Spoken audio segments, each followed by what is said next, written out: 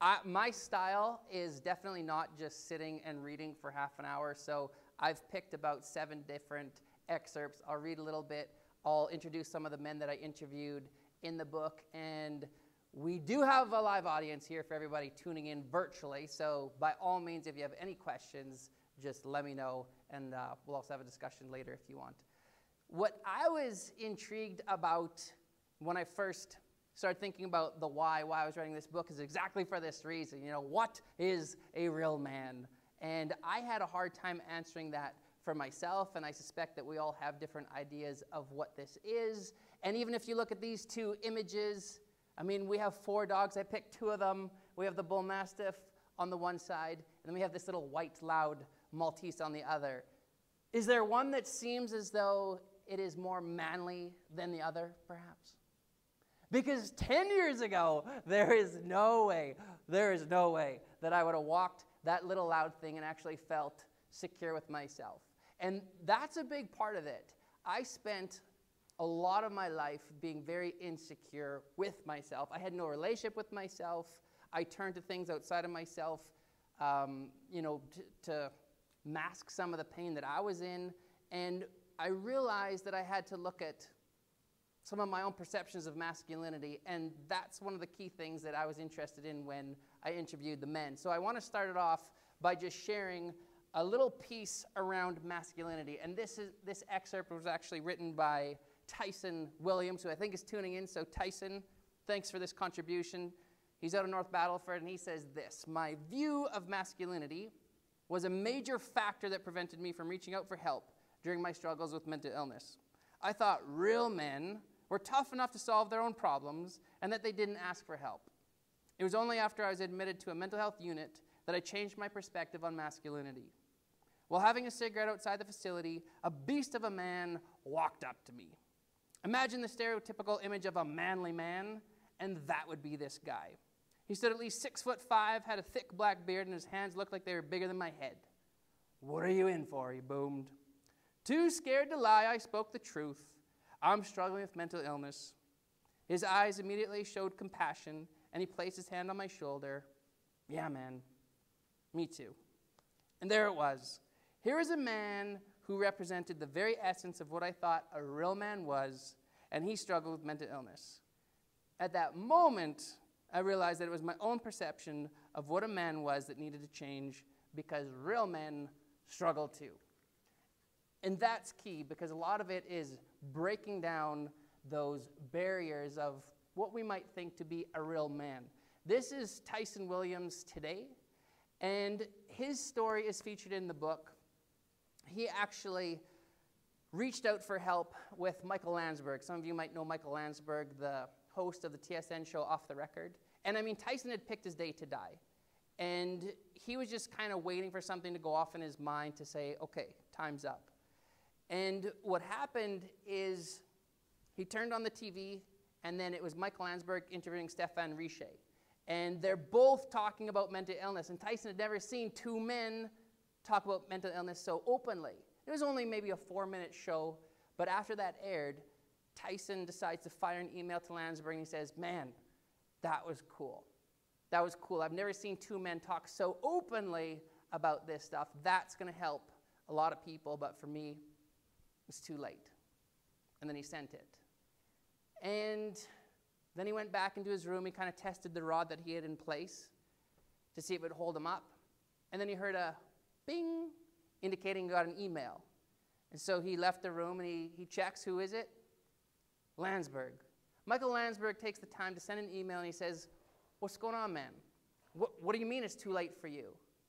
And long story short, they exchange a handful of emails and eventually Landsberg says, if you don't at least try getting help, you'll never know. Suicide can always be on the back burner. And Tyson ended up making it through the night. He made it to see the sunrise. And he eventually did get the help that he needed. And it's fascinating to me because these two girls would not be here had that exchange not taken place. And, and so there's a couple of things. I mean, for one, there's that need, you know, to, to reach out for help, and it was received. And the way that Michael supported him was simply by listening, encouraging him to get help. And those two girls are here because of it. And he also has an older daughter as well. And how he kind of summarized his experiences is Tyson said, I've learned that my depression does not define me. It's what I have, it's not who I am. To this day, my biggest dose of medicine is that I talk, and that's the only reason that I'm alive today. And I found, not only from my own experiences, but for all the men that I interviewed, that was the barrier, right? Trying to put a voice to pain. And I always feared doing that because of judgment, right? What will people think? Will it impact the workplace? All those things. And to this day, Tyson now uses his story to help motivate other people to find their voice. Then there's also this man, Murray Drew. Murray Drew lives here in Saskatoon, and he's a professor. His quote I found really interesting. He says, The only reason that I finally reached out for help was because my wife, her name was Bev, gave me the ultimatum see a doctor or see yourself out the door. And initially, what do you think Murray chose? The door. The man spends three nights in a motel here in Saskatoon. And then finally he realizes, sucks. You know, I, I can't see my wife, I can't see my kids. But why is it that so many men have to go through that much struggle before they finally reach out or get through the doors to receive what they need? And he eventually got into the Dubé Center. The, the neat thing about Murray is talk about full circle because when he went back to the U of S, he said, I'm done with the hiding. And he started to talk openly about his struggles with mental illness for not only his students, but also faculty. And, and this is really what the book is about. It's, it's like vulnerability breeds vulnerability. Because Murray was vulnerable, what did that do for everyone else? It gave them permission to be vulnerable. So all of a sudden, now students are reaching out and talking about their pain. And that's the way I think that we can break a lot of this uh, stigma. And then we have another fascinating man named Jay Blakely, whose story is featured also under the chapter of mental illness. And I just want to read you a little bit about his story.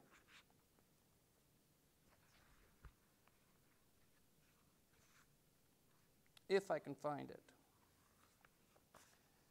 Jay recently became a father, and he says, Our son will grow up knowing all about mental illness. Beth, the mother of their son, has depression, and I have bipolar. So the likelihood of Jack having a mental illness is pretty high. This sucks for him, but he's going to grow up in a family where we're going to catch it early. And he's going to know that, there, that and he's going to know that if there's something wrong with him, he can talk to us because we're that kind of family. It's a common reaction for parents to tell their kids to stop crying when an emotional outburst happens. When I was growing up, my mother was very smart with me emotionally. If I started to cry about something, my mom would just pick me up and say, It's okay, Jay, just cry it out. She would then sit and cry with me until there were no more tears to cry. And to this day, if I see my mom cry, I completely lose it but the positive side is that there's not an ounce of toxic masculinity in me that prevents me from being emotional. So Jack is being raised the same way, that it's okay to cry. And he talks about the stigma, because when it comes to mental illness, he says the stigma is not gone. It's, it still remains. And to get through to people, you have to get into their faces. And what you need often is activists on the corners. We need boots on the ground. During my time at the Dubé Center, I remember looking out the large windows towards the Meewasin Trail. There are always runners traveling these paths. One man stopped in the middle of the trail, looked straight at me, and circled his right finger behind or beside his head, the crazy signal. And I was enraged, and I desperately wanted to get outside to fight that guy. He was the problem. He was the stigma. That was him.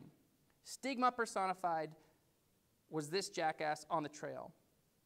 And then a few years later, Beth and him are now walking on the trail in front of the Dubé Center.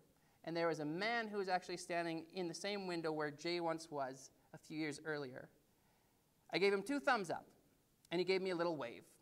And I thought to myself, man, I wish I could just stand here all day and just give people the thumbs up. Obviously, I couldn't do that, but then I had a better idea. I would make a sign that says, You will get better and I would stand there and hold up the sign. I quickly realized that I couldn't do that all day, so Beth and I made four different signs. First one was You Matter. The second one was Sick, Not Weak. The third one was You Will Get Better. And the fourth one is The Struggle is Real. We joined forces with the Saskatchewan Health Authority, put up a giant billboard behind the hospital, and slapped our signs up there. That's, that's pretty remarkable. I mean, not only did it come full circle for him, but that, that, that initiative was also supported by the Saskatchewan Health Authority. And in summary, Jay says that I've been hell and back, but now I can show people who are in hell that they can come back. I'm only going to be alive for so long. Martin Luther King spoke about the fierce urgency of now. That's the perfect way to put this activism. I don't know how long this universe is going to take it to call quits on me. I've often said that you are the author of your own life, but the universe is the editor. So write one hell of a story and don't end it too soon. Pretty powerful. Pretty powerful. The man has also become very open and transparent about his struggles to this day, which in turn, of course, has helped other men come forward. And then it was important for me to dedicate an entire chapter to addiction because obviously there's a correlation between mental illness and addiction, and every theme in the book is something that I've also personally struggled with. And addictions, I mean, I was a compulsive gambler, I was an alcoholic. Um, I think for me, the definition of addiction is just living outside of self so that we don't have to be with self. And that's where, I mean, I, I, I said this before, but I, I really did everything so I didn't ever have to go within. I didn't, I didn't know how to feel, I didn't want to feel, I didn't know how to put a voice to my pain. And there's this one man, his name is Brad Sorosky, who I interviewed. And he also had cancer. And he talks about the parallels between addiction and cancer and how he was treated. And here's what he says Brett says, I have seen how people treat diseases differently. When I was going through addiction, people crossed the street to get away from me. I recall desperately needing a ride to detox, but I couldn't find anyone who wanted anything to do with me. When I was going through my cancer treatments, people wanted to get closer to me. They were quick to support me and would say, Hey, if you ever need a ride to a doctor's office, call me. I can help you out with whatever you need.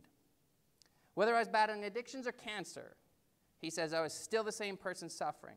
Why was I ostracized for addiction, but loved and supported with cancer? And then in closing, Brad says, My experience speaks volumes to the stigma that still exists around drug and alcohol addictions. Education and understanding will reveal that we all deserve love and respect. Spot on, right? I mean, uh, addictions, for me, it is natural to want to leave behind a life of pain, to leave behind a life of hell in exchange for pleasure, right? I mean, I, when I first drank alcohol, there was you hear this often, right? Oh, I fell in love with it. Well, I did because for the first time I felt calm. You know, there was an escape. If someone has a reward or positive experience from something, do they take it again?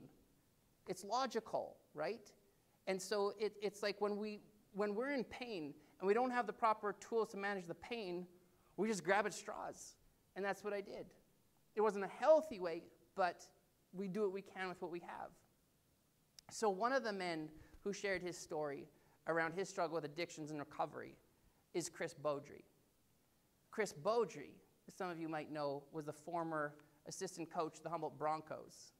And Chris Beaudry is the one who pulled up to the bus after that crash that claimed so many people's lives. And I cannot imagine what that was like for him. The challenge for me writing this book was that every time that I had to interview them and then I had to kind of transcribe or write their story, then I have to kind of take that on and feel it and also relive my own stuff. And who the hell am I to edit someone's story? Because that's, I mean, that's sacred stuff, right? So it was difficult for me.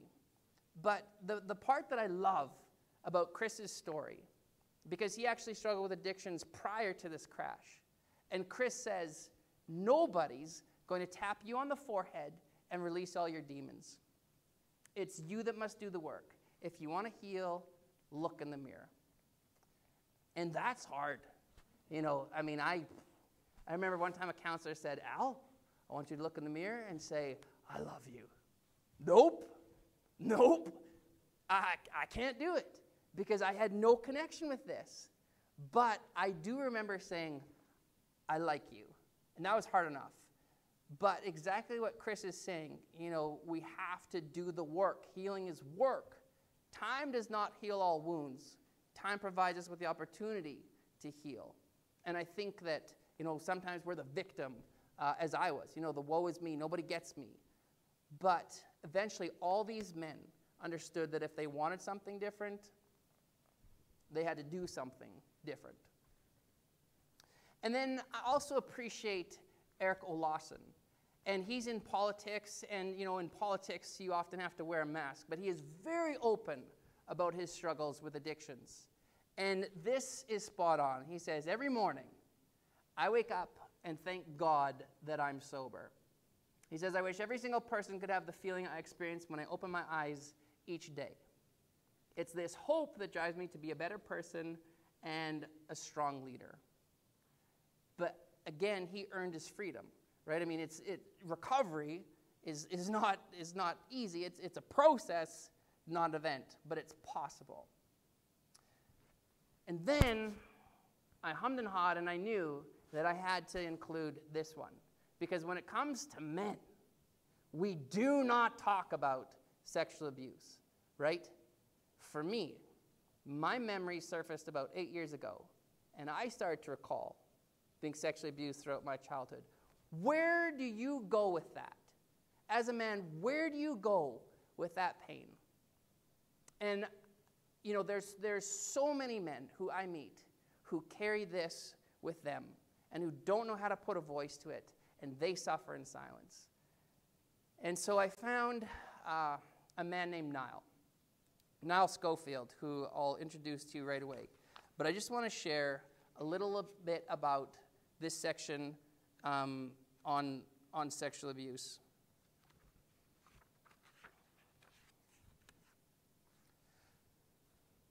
While abuse is debilitating for any gender to endure, the stereotypes regarding masculinity create additional challenges for males.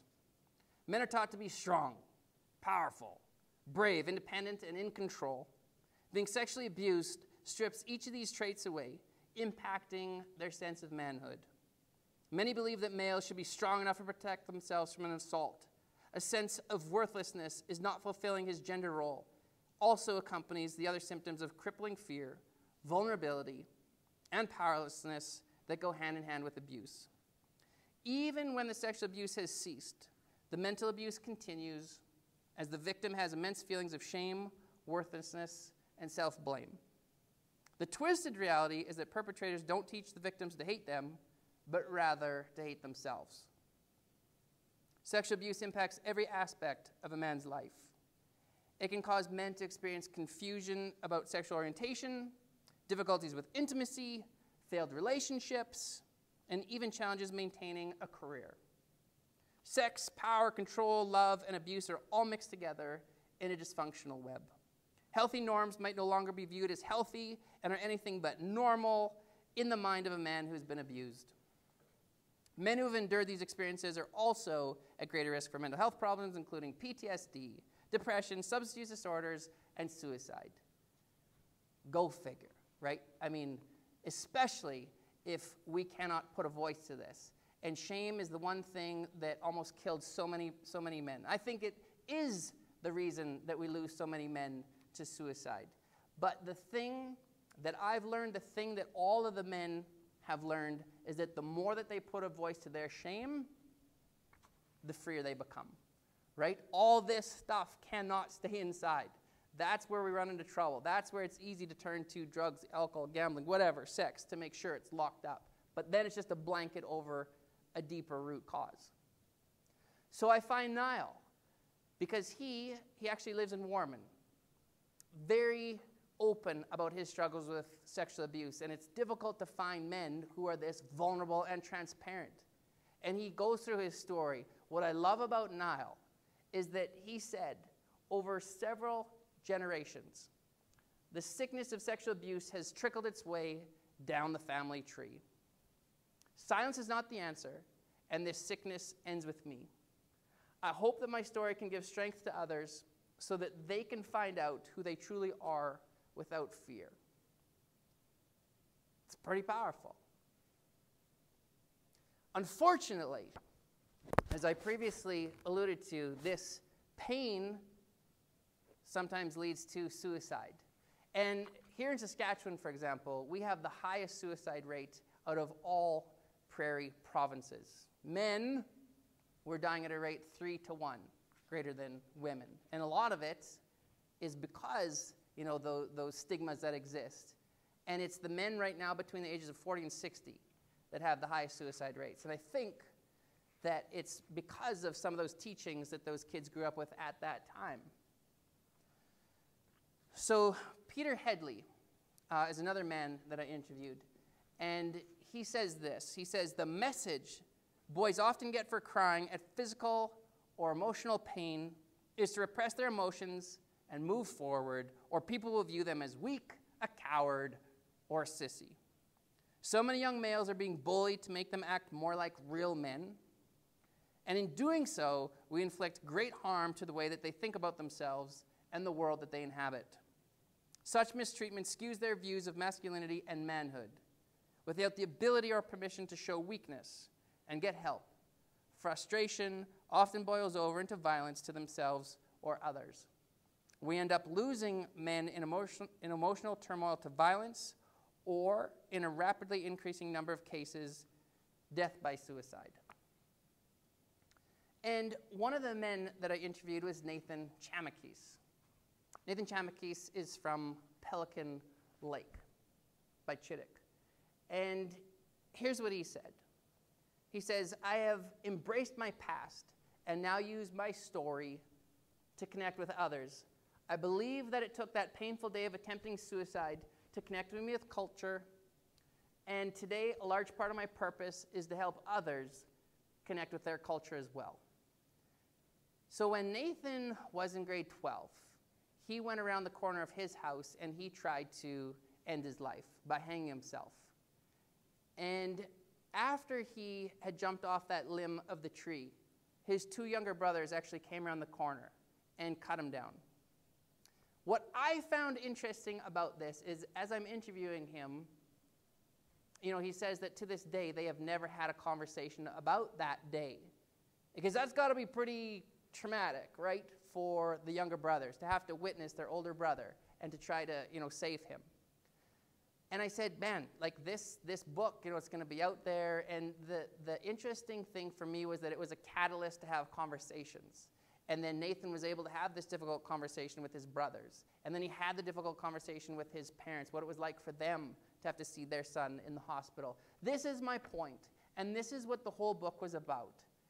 Done with the silence, done with the hiding, open conversations, because if we cannot have these conversations, I mean, the, the next generation, the next generation of boys are preparing and training to be men, right? If we can't model it, why the hell would they? And so for Nathan, culture, I just spit all over the place. Culture has become his pillar of wellness. And he taught me a lot. And he continues to teach others. And then there was this part in the book, which I, I really, really struggled with. Because I lost my best friend, Justin Andres, to suicide. And uh, like that, that, that rocked my world. I was, um, I, I was actually uh, working as an addictions counselor. You know, I'm trained in all this stuff, and denial is a great place to live, isn't it? And I, yeah, it's, it was one of those times where I would say I was consumed by this loss. And in a twisted way, him dying by suicide saved my life because I, you know, I saw, I saw everything unfold. And I decided to interview Justin's father, and that's Justin's father, Ed. And I cried the whole way to that interview because, you know, it's painful to, to, to go back to that. But it was also healing um, for both of us to, to be able to just talk. And so in this story, Ed talks about what it's like as a father to lose a son to suicide. But again, it's talking, and, and there is hope after losing someone to suicide. And this is tough stuff. I mean, but again, it demands our attention. And then another individual who had lost someone to suicide was Landon. Landon actually lives in Rosetown, Landon Waite. He lost his sister to suicide. And he would have been, I think it was between the summer of grade 11 and 12 when this happened. And, and it was only a few days after the funeral that he had to go to school. And, you know, he talks about how he could feel all the eyes on him. And, and it's interesting because he says, I didn't want my buddies at school to see me walk into the counselor's office. I thought it would affect my reputation of being strong. However, I quickly realized that I needed to take care of my own needs rather than worry about what anyone else thought of me. And so, even at that age, he was able to kind of rewrite those scripts, and he started to see a counselor frequently. And what did that do? It taught others, hey, you know, this is okay. And he was able to find some healing because he used his voice like all the other men did. And that's really, you know, what I saw more than anything. I saw this, this bond, this brotherhood, this unity, people coming together. Uh, Simone McLeod, you know, uh, a friend of mine, she created this one for a different book that I had written, but it captures it perfectly, right? It's, it's like we, we, we have to come together for all of this. And uh, even last night, I did an event based on all the suicides that have been taking place in Medicine Hat. So they've had seven men die by suicide since I think it was uh, around May. And so a friend of mine, Mike Cameron, and I said, man, we gotta, you know, we gotta do something about this. Like, I don't know what it looks like, but there's a beautiful organization called the Inner Man Project that started just over three weeks ago in Medicine Hat. And they were similar, right? Let's, let's get everyone together. Let's talk about this. And in three weeks, they had over 3,000 followers. What does that say? You know, there's a lot of people who are tired of being quiet and they're starting to use their voice and come together. So if you ever have time, check out the Inner Man Project on Facebook.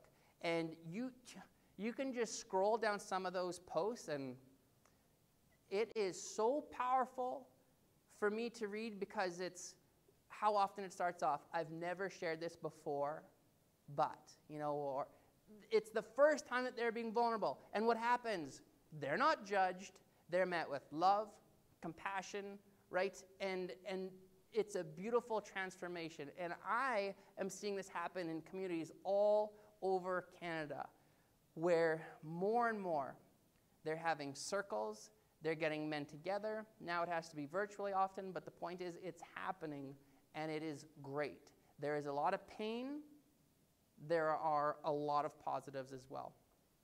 Travis Williamson from right here in Saskatoon, another one of these beautiful souls, he says, I recognized a need for a healthy environment where men could come together, learn, and share how to stop sending negative messages to ourselves and others. I wanted to show men that vulnerability is not a weakness, but rather a strength. The man opened up his own doors to have support groups for men. I mean, that's pretty cool maybe not a healthy boundary. Uh, no, his intent was pure, and it's the same thing.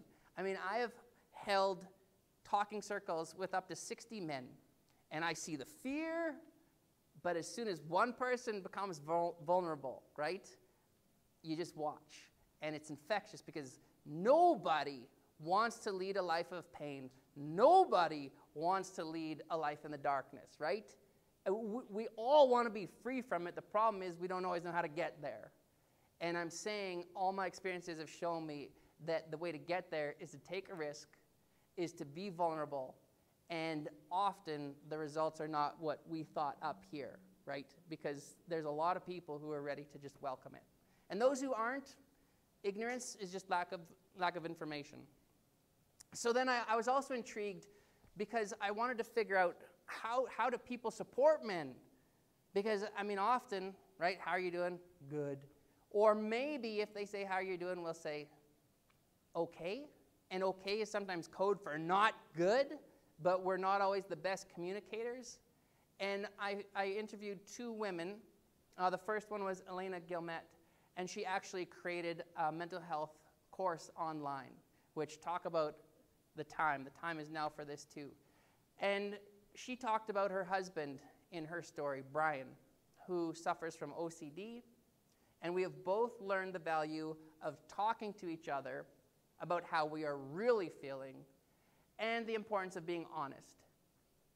And then she closes with something that I love. She says, I now value, or sorry, I now understand the value of self care. Because when you try to support someone with an addiction, when you try to support someone with a mental illness, that's a different beast. And I see this, you know, in my relationship with my wife, because when I go down, ah, it, you know, I see the way it affects her. I see the way it affects the kids. And um, that need, no matter what, no matter if we're on either side, we've got to start taking care of this. And Leslie, Leslie is uh, Matt's wife, and they are actually out of Watrous. Leslie was one of the co founders for the Do More Ag, a great resource. And Leslie says sometimes it was as simple as giving my husband, Matt, a hug and telling him that everything was going to be okay. I would let him know that I was by his side and reassure him that we would get through this together. And I find I get a lot of questions about how do we support the men in our life. What did, what did you want? You know, when you're in pain, what do you want? I didn't want to be fixed. I think sometimes we even try to fix others. It doesn't work. I, I realized in interviewing all the men, we all want the same thing. We want to be seen, we want to be heard, and ultimately we want to be supported in some way. And it's different for all of us. But it also comes down to, you know, elders. Elders always say, we have two ears and one mouth for a reason. And, and I think that we all just want to be, you know, heard. And so if somebody starts to share, zip and, and allow them to just get some of that darkness out. And for me, that's, that's what I got today, which is um, mind blowing. I would not be here without Tanya. And, you know, I don't want to get into my story, but uh, at one point, you know, I'm given a month to live if I don't change what I'm doing. And um, it's, it's crazy for me to think about where I was and where I am today. And I, I still find life really, really hard, but the difference is that I have supports around me. I know how to act on them, and I have people in my life like Tanya who really, you know, help me to open up those doors, to make the call, to get the help, because I don't always, you know, feel like it or want it. Um, but I've learned, as all these men have, sometimes we've got to get rid of all of the, I don't like negative people, but get rid of the unhealthy people, right? So that we can surround ourselves with people who lift us up. And, and that's what all of them have done. And somehow, you know, I was able to find Tanya.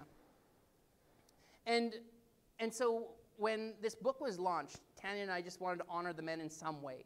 So as many of them as we could, we got them together and, and we you know, gave them a book, gave them a, a limited print from Simone. And what I've learned is with all the stigma, the best way to remove the stigma is by sharing your story. Hands down. Hands down. We all have a story. There's nothing more powerful. I would say there's nothing more sacred than your story. And, and I hope that in some way you can, you can put a voice to yours because I can guarantee you someone needs to hear it as much as your soul probably needs to say it. And, and in closing, I'm just going to read two paragraphs, which kind of, for me, wraps it all up. I wrote, I've always believed that our voice is our greatest tool. But the voices of too many men are being suffocated by the messages of yesterday's society regarding masculinity. These men have chosen to hang on to these messages and believe them for too many years. They have chosen to sacrifice their wellness in an effort to maintain the image of what society says they should be. The relationship between men and mental health has often been called a silent crisis. Today, we are breaking the silence. Today, we are the ones who will redefine what it means to be a man. The time to talk is now. That's it. That's it. Thank you, thank you.